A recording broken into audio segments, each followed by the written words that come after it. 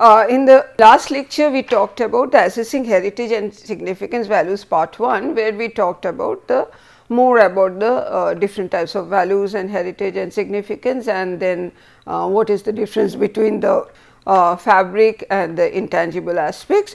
Uh, in this part 2, we will talk more about the uh, intangible aspects of the heritage significance and also we will talk about the management aspects.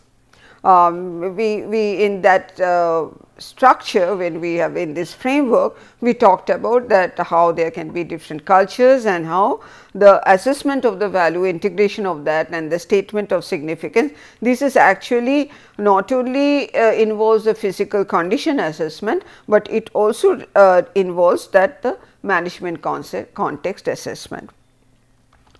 Uh, if you remember that when we were talking about the Shinto shrine, uh, we talked about that uh, it is not the fabric which is uh, important, it is the continuity of the tradition and the skill because after 20 years they uh, sort of uh, rebuild it exactly the way in that process they continue the tradition and the skill and what is also important is the religious practices and the beliefs and the procession which are very important to that. So, we have seen the assessing the conservation of non-material cultural value becomes a very important aspect when we are talking about the assessment of significance and the values.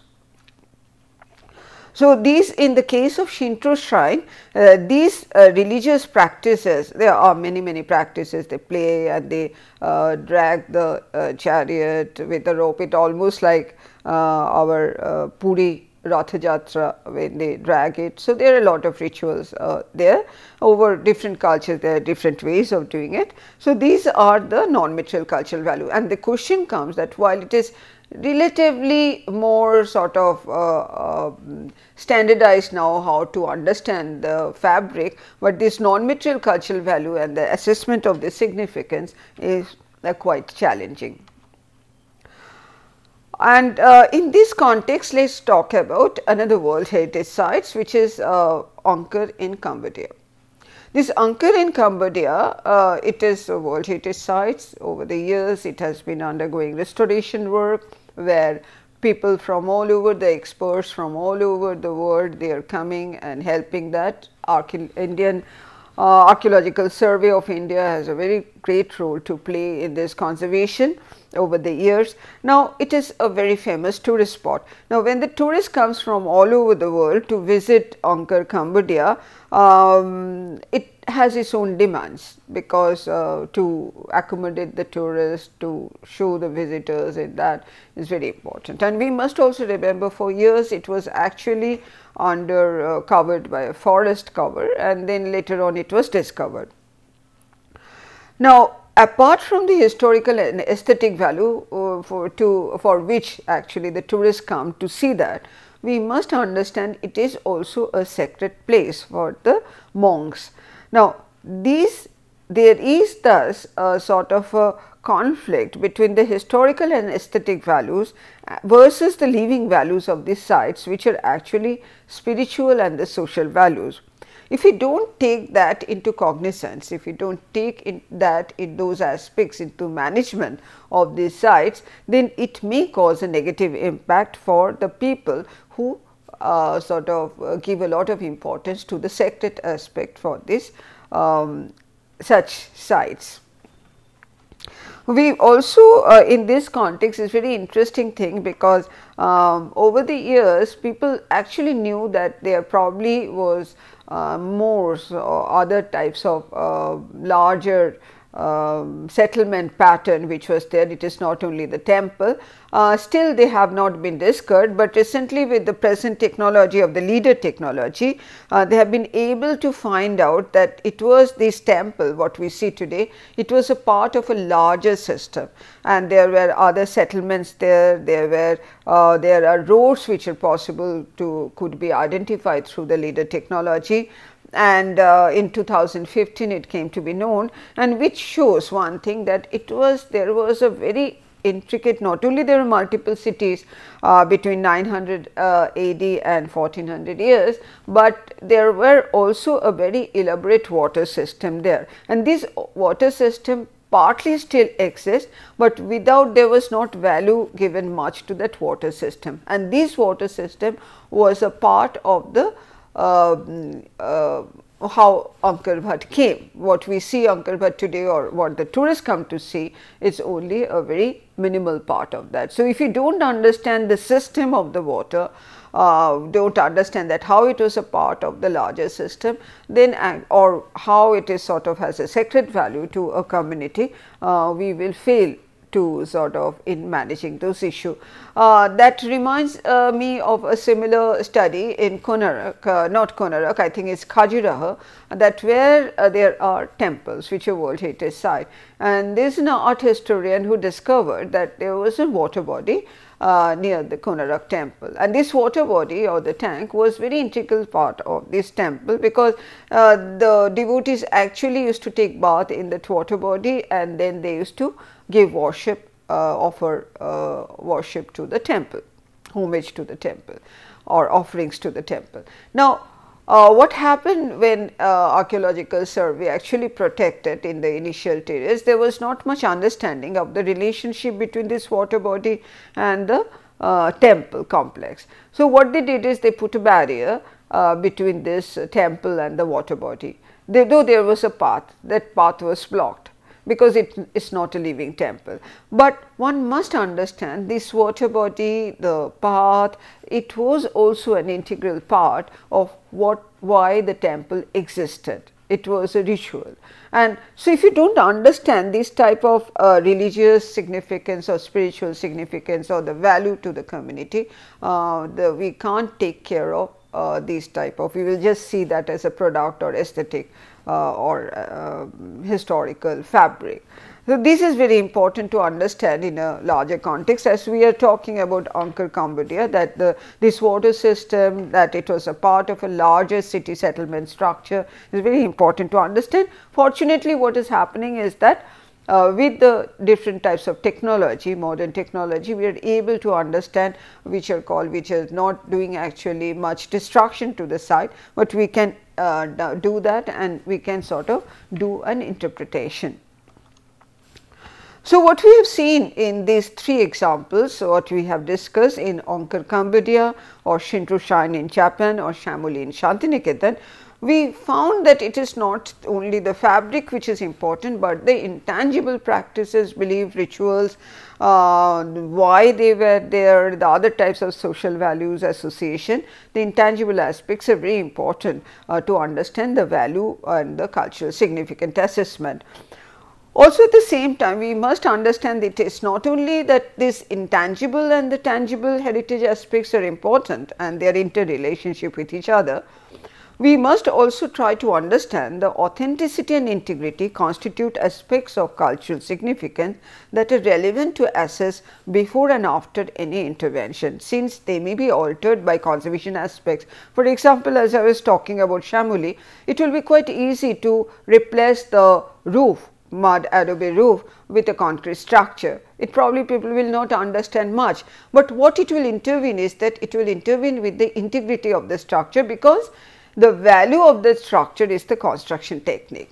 Look wise, if we just see it look wise and aesthetic, probably we will say that it does not matter because look wise it will remain the same, nobody will understand. But if we see Shamoli as an example of the construction technique and adobe structure, then we must give all our attention and the technology and everything to preserve it as an adobe structure. And that is why it is very important that why we must understand the values and significance and how it is related with what is the intervention what is desirable or not. And as I said initially that there are various approaches, there is like uh, you can't sort of say a rule that in this case each and every specimen, each and every structure, every site of heritage significance has its own challenge and it has to be seen in its own context. Uh, we are again coming back to the value based management system where we are talking about that how the physical condition assessment and the management context assessment are very important to understand that how integration of assessment and how it is important for the policy decision and how the statement of significance is also to come through a group process, the community and the stakeholders. I will discuss a very important um, example in Australia that how uh, these um, various stakeholders uh, have various values and how uh, it related or it uh, gave rise to some of conflict and clash between the different communities and how this was resolved. It took a long long time to resolve that and how it was resolved uh, by proper understanding of the values and significance. I am uh, but before that we must uh, understand that I am sharing that uh, from one of the lectures by Professor Duncan Marshall, uh, which I attended in unit uh, Hiroshima um, course in 2050. Uh, I am acknowledging that he through his lecture actually I came to know about this very very interesting example. Now, what are the steps for this? First of all, one must understand or identify the values. Then after the values, one must try to identify that what are the attributes that hold, convey or embody the values. So, the value is one thing and we must understand that what are the attributes which actually contribute uh, significantly to the value or represent those values. Then we must in the third step, we must understand that how to manage a property on the basis of these values. So, the management becomes very important. Management means protecting, preserving, intervention, a lot of, a lot of maintaining it. And then if it sort of give rise to the conflicts and how to manage the conflict between the different values. So, let us talk about this example. So, this is actually Flynn's Grave, uh, Alice Springs in Australia. Uh, so, it is actually uh, has a commemorative value. Flynn's Grave uh, there is a stone as we can see is a beautiful surrounding uh, nice uh, thing and uh, it is there and what it was commemorating. Uh, this is located in Australia in this place the Alice Spring and uh, is a large country. So, in a very nice landscape this grave is situated there. Actually it is a commemorative for Reverend John Flynn now, John Flynn actually is a part of a flying doctor. When the uh, white people came to Australia, they were the original uh, tribal people then who were actually the original settlers, uh, settlers of Australia is a vast country. So, there was not much communication uh, and these uh, group of um, these doctors uh, they uh, were taking care of these different types of aboriginal people and what they did is that they are the different types of tribes as I say in scattered over a vast region. So, what they did is that the Royal Flying Doctors Service of Australia, it is not a government, it was a, a non-governmental organization. So, what they do is to do is that they used to go to the different regions and they used to uh, sort of find out that uh, about their illness and others serve them if required they will bring back them over the helicopters and the aeroplanes and other thing. So, Dr. Flynn actually um, did that service for years to these tribal people. So, when he passed away, the local people and also his team members, they thought that so much he has contributed to the betterment of these people and taking care of these people. So, there has to be uh, some sort of a memorial uh, not in a city, but in that location. So, what they did to commemorate uh, his contribution, uh, what they did is that they sort of found out a stone from that region and they uh, put that stone as a memorial to Dr. Flynn. While they were doing and taking because there were sort of a natural stones there which are piled up and they didn't know or they didn't understand that it is actually a sacred site for the aborigines and they put it there.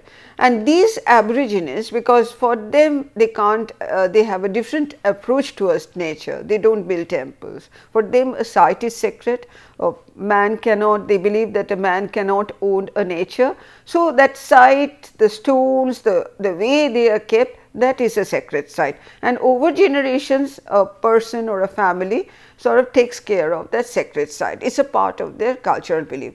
And what it was done is that without understanding this value, uh, one of the stone from the that sect particular sacred site was removed to commemorate or to make that um, commemorate the grave site.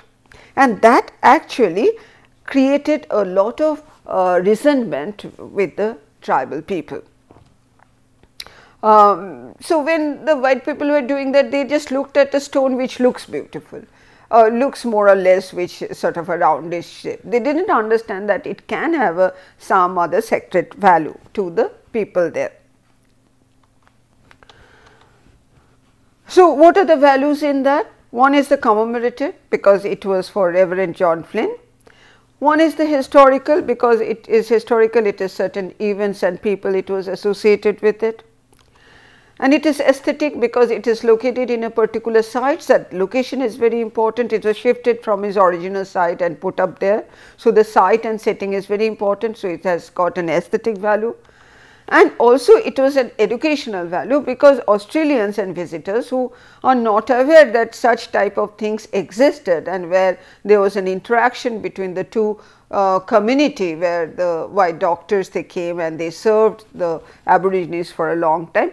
So, for future generation this is also as an educational purpose with the Australian and visitors will know about such type of things which is to happen there. So, these are the value commemorative, historical, aesthetic and education and also religion because uh, as I said that for uh, aboriginal uh, aborigines these type of sites are sacred sites. So, they have a spiritual uh, religious belief for these burial sites. So, I am just quoting that one of the people were very upset.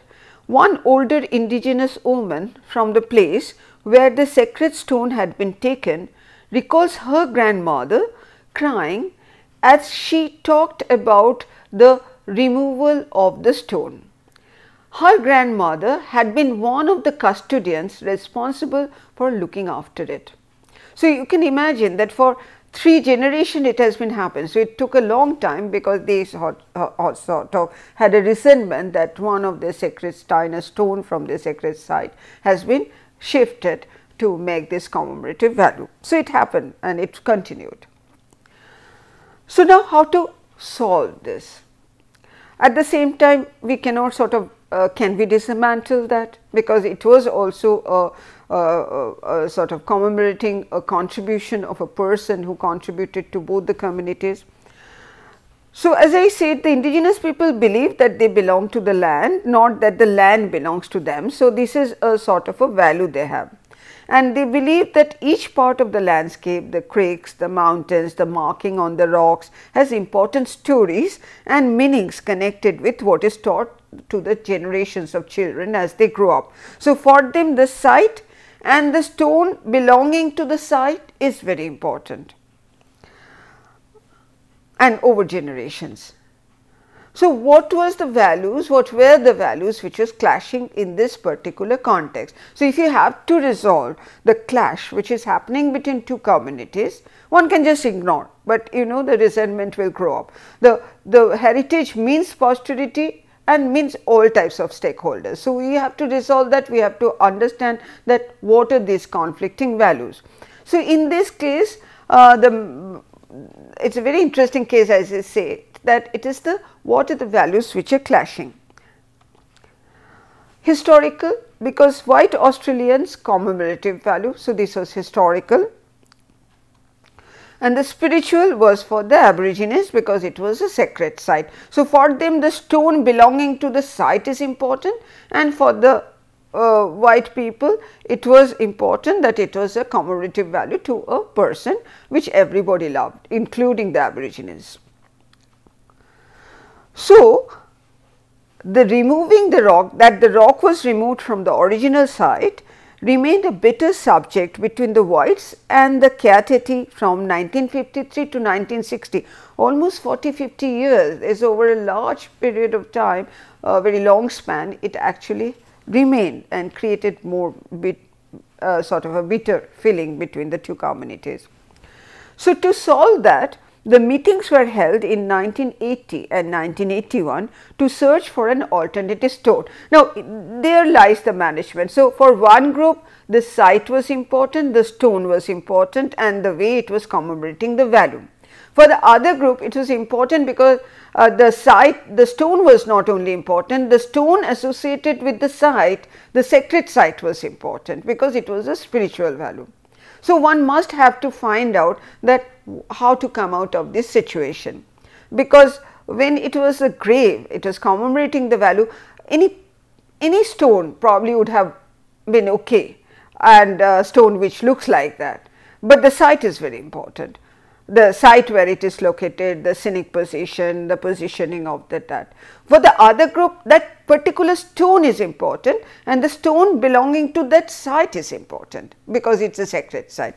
So, the only possible solution which took years actually uh, to resolve and a lot of meetings that to search for an alternative stone a controversy happened. So, 1996 the negotiation resumed and 1998 a suitable rock was identified because they thought that it is not particular that rock which is important to commemorate that grave.